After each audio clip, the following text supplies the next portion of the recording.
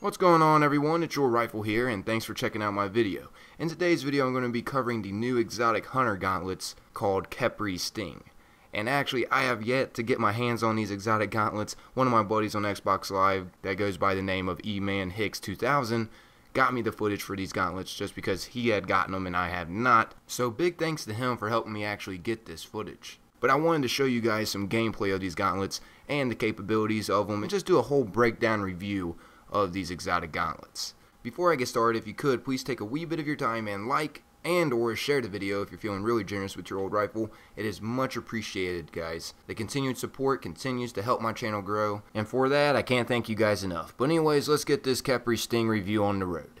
In my opinion, these Hunter Exotic gauntlets are awesome just because of how unique they are. I mean, these gauntlets have a freaking beetle on them. And on Xbox One and PS4, the beetle is alive. But on Xbox 360 and PS3, the beetle isn't moving. It isn't alive. That's the only real difference with these gauntlets. It's just according on what kind of console you're playing on to see the beetle actually moving. As you guys have probably have heard about the Bones of Eao, the new exotic hunter boots, that allow you to quadruple jump. Well, now you can turn invisible with the Gunslinger class using these Khepri Sting gauntlets. It seems like the Gunslinger class is getting better and better with the Hunter. Anyways, let's go over the perks first for these gauntlets. A quick breakdown of the perks that come with these gauntlets. Primary Weapon Loader increases the reload speed of all primary weapons, which works phenomenal for hand cannon users especially. Keep in mind that these work for any primary weapons. Yes, the Vex, yes, the multi-tool, Yes, the Fatebringer. Yes, yes, yes. For all primary weapons, it's going to help you reload faster.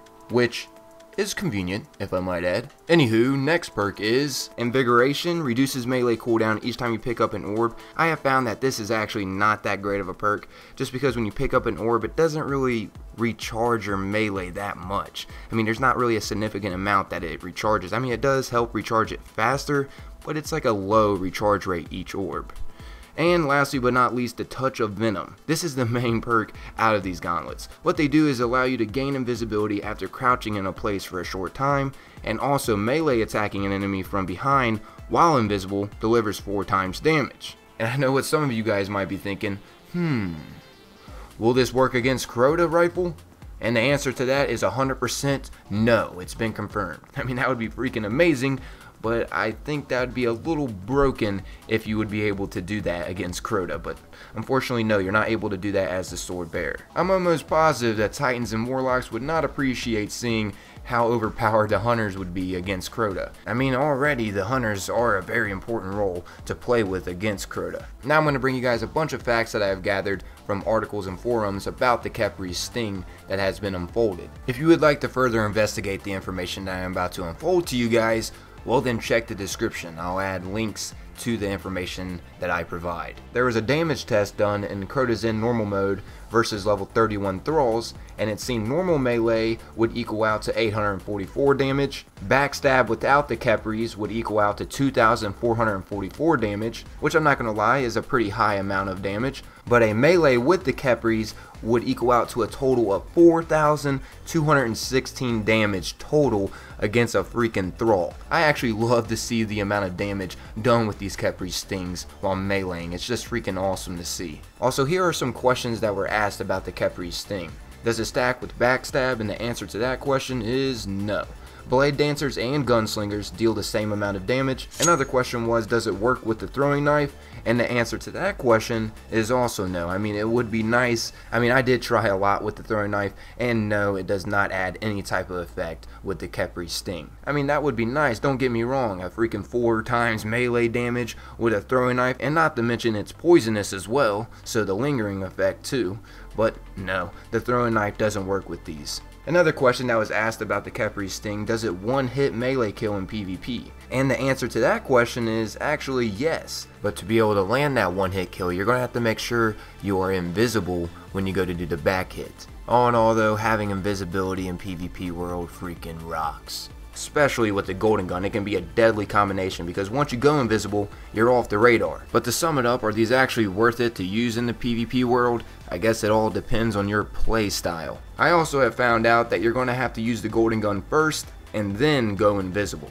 You can't go invisible and then use the golden gun because that would get rid of your invisibility. And also something pretty freaking awesome about these Hunter Exotic gauntlets, they have a hidden perk to them. If you actually use the golden gun while you are invisible, it can leave a lingering effect on the enemy that you hit. And the same with the Blade Dancer. And also keep in mind the invisible effect does work with Vanish too. Also to add on to the hidden perk, yes it works with supers, but melee attacking an enemy while invisible causes additional lingering damage over time too. You don't necessarily have to backstab an enemy to get the lingering effect. You just have to make sure you are invisible. Some of you might be wondering, does the lingering effect kill someone in PvP from one hit? Say like you went invisible and then you go to hit the other player, would the lingering effect end up killing that other player? And the answer to that is no, but it almost does. The lingering effect in PvP has 4 damage points per second and the lingering effect lasts 9 seconds. And don't get it wrong, I'm not saying that the 9 seconds only count in PvP, it also counts in PvE too. I'm just saying that it does 4 damage per second in the PvP world. So just in case you guys don't feel like doing that extra hard math, I mean 9 times 4, ah, what in the heck?